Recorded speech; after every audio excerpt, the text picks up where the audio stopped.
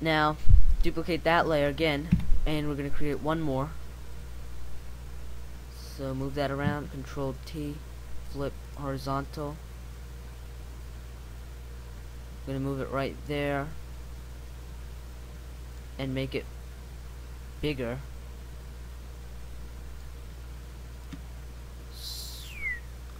Now I'm going to change the color of this to blue a light blue so I'm gonna go here. Choose a light blue.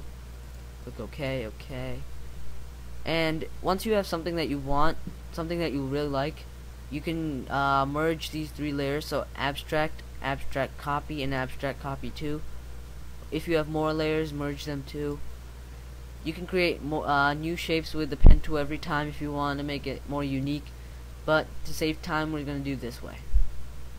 We're gonna move this layer to somewhere we wanna keep it so I'll just keep it right about there. And now you want to create the text. So to create the text and the text effect we're gonna create a new layer. Well we're not gonna need to create a new layer yet but you get get the text tool and write anything you want. So I'm gonna write Miss GIF, all in capital. Um, the only problem is if, if it's not in cap capital, if you have a P or a Q, it's gonna go below the line and we want it to have a reflection effect and it's not gonna look good. So we want to have it capital.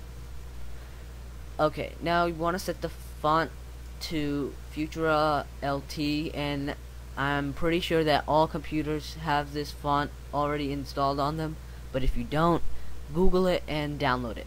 Or you can just use any other font you want. Doesn't have to be this one.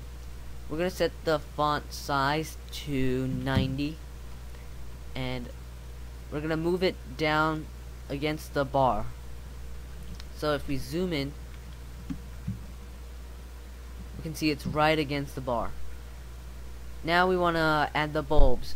So create a new layer now and rename this layer bulbs and get the brush tool and make sure your foreground color is still set to white. Right click choose the 13 size soft brush. Now you want to change that 13 to a 15 up here. And then you want to start making your first bulb right at the end. I'm gonna make my first bulb. Okay. So uh, let me just increase this up a bit so I'm just gonna make it 18 since I increased the font so font size. So I'm gonna 18 alright so that looks good. So just make it anywhere you want all the corners some of the corners. I'm just gonna make it on some of the corners. So just start.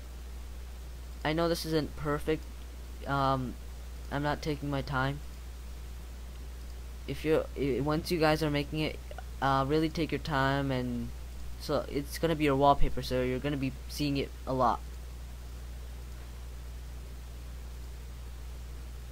yeah.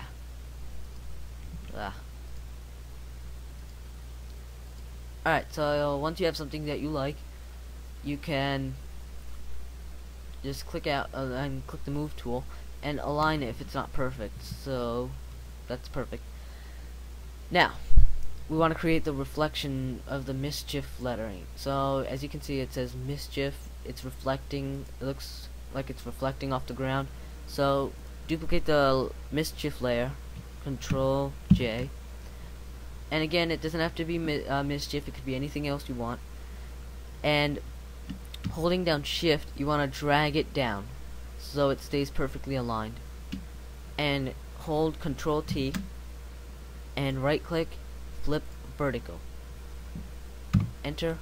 And you want to line it up to right against the mischief layer.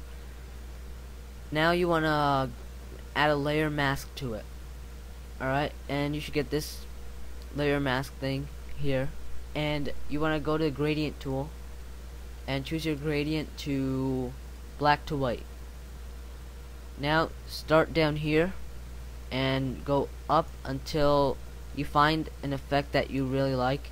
So just Alright, so let's just say we want to keep that. Now, we want to uh, reduce the opacity of this to 50 so it gives it a better look. And zoom out.